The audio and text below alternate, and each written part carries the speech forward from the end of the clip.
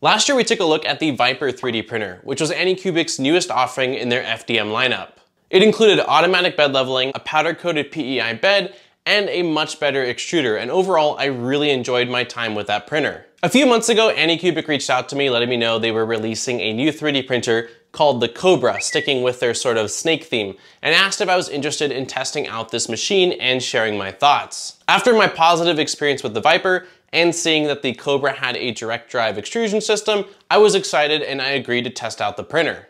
I've been playing around with the Kobra for a couple of months now, and it was actually featured in one of last month's video, which was how to print with wood-filled filaments. So in today's video, we will take a dive into the Anycubic Kobra. We'll take a look at the printer specs, what setup and initial calibration was like, how it prints, and I will give you my overall thoughts based off my time with this printer so far. So with all that being said, and without further ado, let's get right into today's video.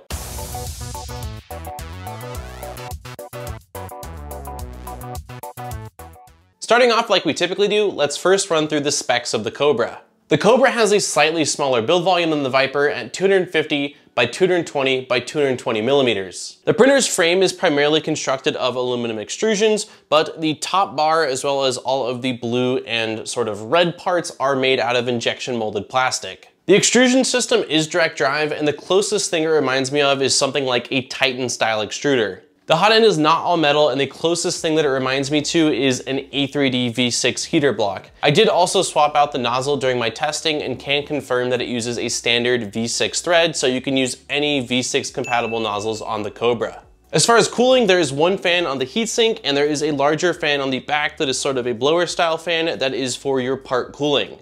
The Kobra comes with a magnetic powder-coated PEI bed, which is my absolute favorite build surface for your day-to-day -day 3D printing, and the bed is mounted to an aluminum frame down below without any bed leveling knobs, which is thanks to its automatic bed leveling. While the Vyper used a strain gauge for its leveling, the Kobra uses an inductive probe or an inductive sensor. I had no issues at all with my leveling on the Vyper, but the inductive sensor on the Kobra has also worked really well for me. The Kobra has built-in belt tensioners as well as power loss recovery, but no filament runout sensor. Roller wheels are used for motion, and the Z-axis rides up and down using a singular lead screw. Interfacing with the Kobra is done through its 4.3 inch touchscreen, and although I am not crazy at all about the jingle it plays every single time you turn it on, it is a very responsive touchscreen and menu.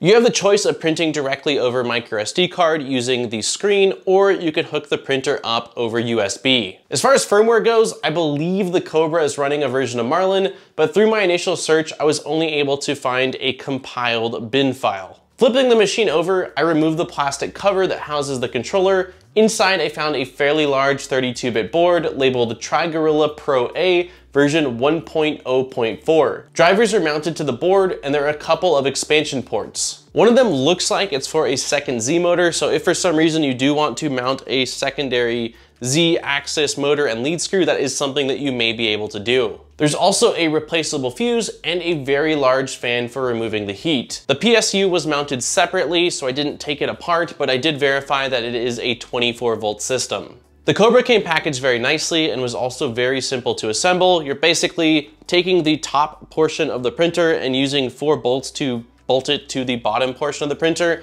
then attaching the spool holder and a couple of screws for the screen, and then plugging in a few cables. I would say all in all, 15 to 20 minutes is probably what it'll take you from the time you get it out of the box to having it fully assembled and ready to print. Turning the printer on for the first time, you'll want to run a leveling sequence, which will create a 25 point mesh. It was at this point that I ran into sort of my first issue with the Kobra.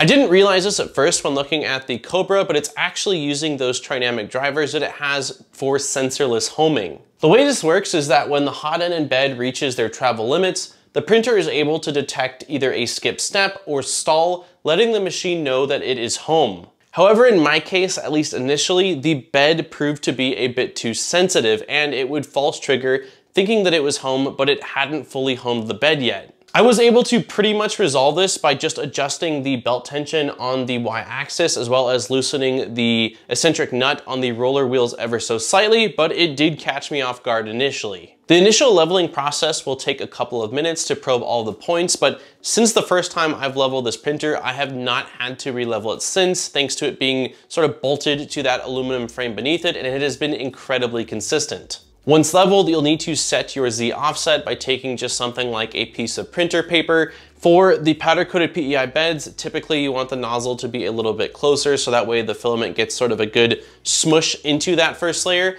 But you can also live step or baby step during your printing process. So if for some reason your nozzle is a little bit too far away or too close, you can quickly and easily adjust that as soon as your first print starts. Once done with the leveling and the Z offset, I loaded in some blue PLA and fired off the test print that came on the micro SD card, which is the Anycubic OWL model that they've had on their printers for many years. The Kobra is definitely on the quieter side, which is a plus, at least in my opinion, and I was very pleased with the print result or the print quality of their first test print. Once I was done with the test print, I was ready to slice up some models of my own, so I took the included micro SD card and hopped over to the computer. Anycubic does provide Cura profiles for the Kobra, but I really wanted to use Prusa Slicer, so I started off with the Artillery Genius profile and just made some slight tweaks to it. I actually went right from printing that test file to printing with wood fill on the Kobra, which did require swapping over to a 0.6 millimeter nozzle after some trial and error,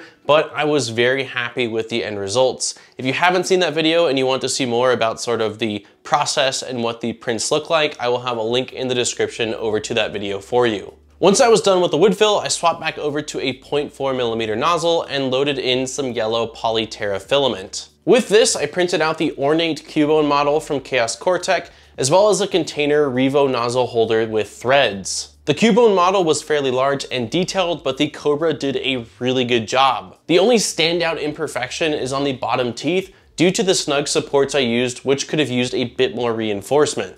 Other than that, the model turned out awesome. The Revo nozzle holder turned out perfect and the threads are buttery smooth. I then switched over to some Jessie Blood Red PLA and printed out a dragon bust. This really is a testament to how far supports and support algorithms have evolved over the years. Due to the horns on this model, it required quite a bit of support material and Back in the day, printing this would have been an absolute nightmare. Using the Prusa Slicer snug supports, it still took some time to remove, but it did a fantastic job and supported all the areas that it needed without really leaving any blemishes on the finished part. This model from Onu is a very cool one, and links to this and the rest of the models shown in this video will be linked in the description. I also printed out two Cali Dragon models with this filament. I used the exact same slicer settings, except one of them had Z-Hop enabled and one of them had Z-Hop disabled. Ironically, I actually think that the print with Z-Hop enabled turned out better. It does have a bit more stringiness, but for some reason the layer consistency seems just a bit better on that print. After this, I switched over to TPU and printed out a blue doorstop as well as two orange phone cases in TPU. These were two different TPUs from two separate manufacturers, but they were both 95A shore hardness and I used the exact same settings on all of them.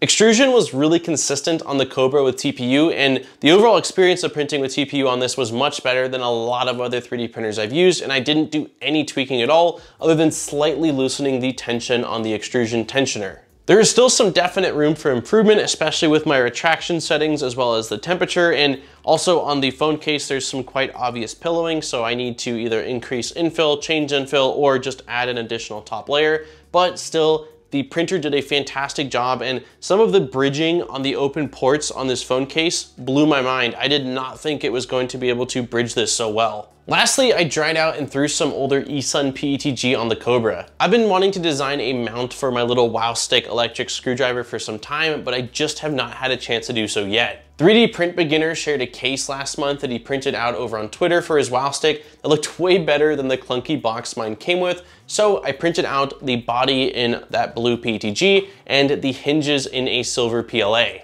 There was one blemish from what is likely the PETG that built up on the nozzle and dripped onto the part mid-print, but other than that, it turned out great. I've been really impressed with the consistency of the print and extrusion of the Kobra, as well as the machine's ability to just maintain leveling. I'm just still have so many memories of printers that you print a couple of times and the leveling gets thrown out of whack, but the mesh bed leveling and the sensor they have on here seems to be incredibly reliable or at least worked well. And the fact that there is not leveling knobs on here means that your bed should really not be able to shift around too much. So if you get a good mesh, you should be good for a very long time. I've really enjoyed using the Anycubic Kobra over the past couple of months, and with the exception of the initial Rogue sensorless homing, it's been a pretty seamless experience. My main critiques are pretty minimal, and that's again that I don't like the jingle sound that the machine makes every time you turn it on. I wish there was a way to just disable it. I don't know why they thought that it was necessary to add that. And then completely not related to how the printer actually prints, but I think that the overall look of a unit is important as well. And I just like the Vyper's look a bit more than the Anycubic Kobra. Something about the injection molded plastic they went with, I think it's the blue and the contrast with the red, just sort of makes it look a little bit more toyish to me. And in reality, it's a tool that might be just personal preference. Let me know what you think in the comments down below. Am I wrong? Do you like the look of this? And if you have seen this and the Vyper, which one do you, which styling do you like better? The only other thing that's also quite small that I miss on the Kobra that the Vyper had was the Vyper has a tiny little LED inside of the hot end area that makes it really simple to see your first layer, especially if you're not in a room with bright studio lights. And it's not difficult to turn on bright lights and look at your first layer, but I thought that it was a pretty cool thing and I wish they had carried it over to the Kobra as well. Overall, it is a welcome addition to the Anycubic lineup, and I'm really hoping that Anycubic releases an all-metal heat break that will allow you to convert this PTFE-lined hot end to an all-metal if you should want to print with higher temp materials. At right around $300, this is a solid choice for somebody that's either looking to get their first 3D printer or if you're looking to expand your current lineup.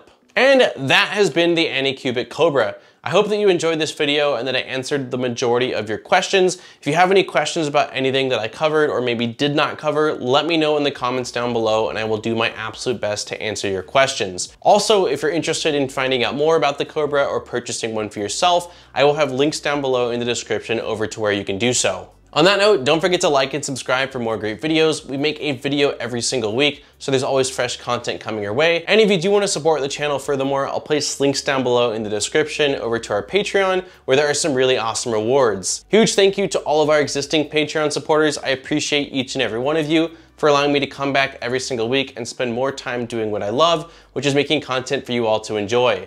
On that note, this has been Daniel from ModBot, and I look forward to seeing you guys in my next video. Peace, guys!